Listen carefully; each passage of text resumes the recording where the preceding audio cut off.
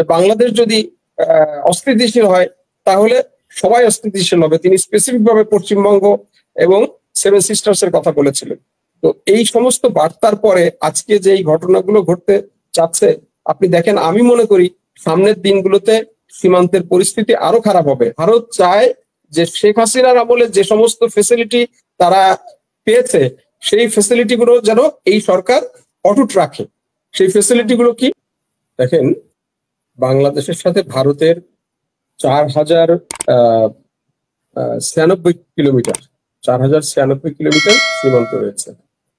এটা একটি একটি অনেক দীর্ঘ সীমান্ত এবং এই সীমান্ত ভারত এর বেশিরভাগ অংশ কাটাতারের বেড়া দিয়ে ঘিরে রেখেছে, যেটা মানে প্রথম বক্তা শ্রদ্ধেয় নাজমুল হাসান কলিমুল্লাহ বলছিলেন যে এই কাটাতারের বেড়ার ধারণাটা ইসরায়েল থেকে নিয়ে এসছে মানে ইসরায়েল কাদেরকে কাটাতারের বেড়া দিয়ে ঘিরে রেখেছে ফিলিস্তিনকে। ফিলিস্তিনকে তারা কীভাবে দেখে? হামাস কীভাবে, যেভাবে দেখে, সেইভাবে বাংলাদেশকে দেখে। যেটা আজকে আমরা গত পরশু দিন আমরা দেখলাম, রাজনাথ সিং হামাস এবং ইসরায়েলের সাথে বাংলাদেশের ইস্যুটাকে একটা তুলনা করে দেখালেন। তো বাস্তবতাটা তো আসলে এইখানে। তো আমরা যেটা দেখতে পাই যে এই ইস্যুটা কমার থেকে আমি আমি, আম- আমার ধারণা সামনে এই ইস্যুটা আরও বাড়বে। আমরা একটা পরিসংখ্যানে দেখলাম যে স্বাধীনতার পর থেকে এ পর্যন্ত, অর্থাৎ উনিশশো বাহাত্তর সাল থেকে শুরু করে দুই হাজার তেইশ সাল পর্যন্ত, উনিশশো জন পর্যন্ত, উনিশশো জন এই বর্ডারে মারা গিয়েছে। এটা আইন ও সালিশ কেন্দ্রের তথ্য। তো, এবং দুই হাজার তেইশ সালে মারা গিয়েছে তিরিশ জন। আমাদের আসলে যদি এই যে পতিত যে ফ্যাসিবাদ সরকার, আমরা দেখেছি যখনই এই সরকারের আমলে কোন বর্ডারে কেউ মারা যেত, তখন তাদেরকে আমাদের দেশ থেকে প্রতিবাদ তো দূরের কথা, বলা হতো যে তারা মানে ক্রিমিনাল তারা চোরা কারবারি, তারা গরু চোরা কারবারি এবং আমাদের পররাষ্ট্রমন্ত্রী বলেছেন যে এত এত বড় সীমান্তে দু একজন মারা যেতেই পারে। এগুলো বিচ্ছিন্ন ঘটনা।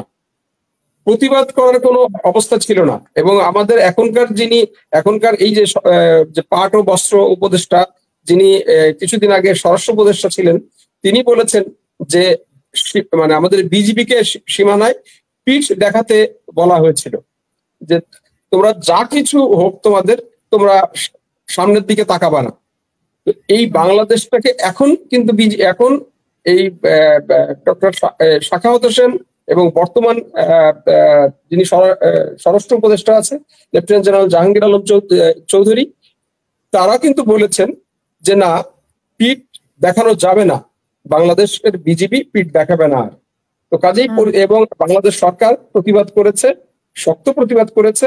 আমি মনে করি যে এবং আমাদের যিনি আমাদের যিনি মানে প্রধান উপদেষ্টা তিনি বারবার কিন্তু এই যে, সর্বশেষ যে পিটিআই এর যে সাক্ষাৎকারটা দিলেন, সেই সাক্ষাৎকারে তিনি যে বার্তাটা দিয়েছেন এবং তিনি দায়িত্ব নেয়ার আগে কিন্তু বলেছিলেন যে বাংলাদেশ যদি অস্থিতিশীল হয়, তাহলে সবাই অস্থিতিশীল হবে। তিনি স্পেসিফিক ভাবে পশ্চিমবঙ্গ এবং সেভেন সিস্টার্স এর কথা বলেছিলেন।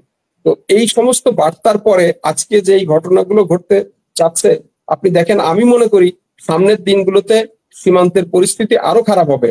কেননা রাজনাথ সিং যে বললেন যে তাদের ইন্ডিয়ান আর্মিকে সতর্ক থাকতে, এবং আপনি খেয়াল করে দেখেন মণিপুরে আমরা এই মুহূর্তে দেখতে পাচ্ছি যে হঠাৎ করে মণিপুর প্রচণ্ড রকম উত্তপ্ত হয়ে গেছে।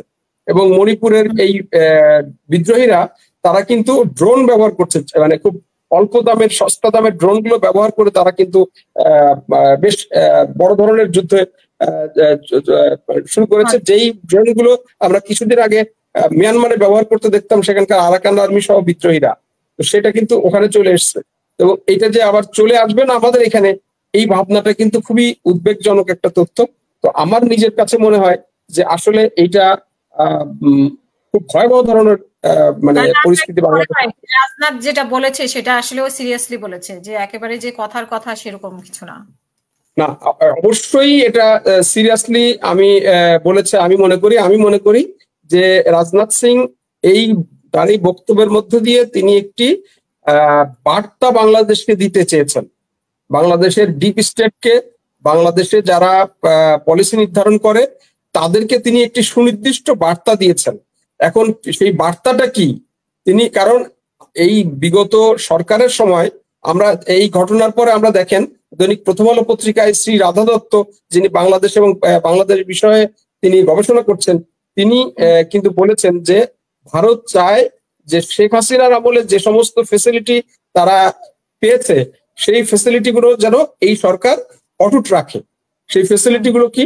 রাষ্ট্রের স্বাধীনতা সার্বভৌমত্ব বিরোধী একের পর এক চুক্তি তারা করেছে এবং তারা আমাদের নিরাপত্তা ব্যবস্থা আমাদের সিকিউরিটি সিস্টেম আমাদের সার্বভৌমত্ব ভুলণ্ঠিত করার জন্য যা কিছু দরকার, ক্ষমতায় থাকার জন্য তারা সবকিছু পুরো বাংলাদেশটাকে ভারতের হাতে তুলে দিয়েছে এবং এই দেশটা বেসিক বেসিক্যালি তারা পরিচালনা করতে ভারত।